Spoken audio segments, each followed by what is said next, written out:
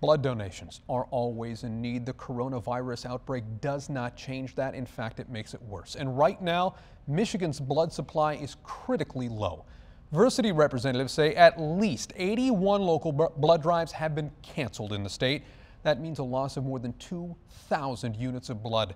Doctors with Versiti say donating is safe, and they're taking extra measures to make sure donors do not run the risk of getting the coronavirus donors coming out to give, then we don't have blood to supply our hospitals. And that is critical for patients who have cancer, who are hemophiliacs, who are undergoing surgeries, who have car accidents. Those things are not going to stop. Versiti's blood centers in Grand Rapids, Granville, Kalamazoo, and St. Joe, they are all still open. If you are eligible, you're being asked to make an appointment immediately.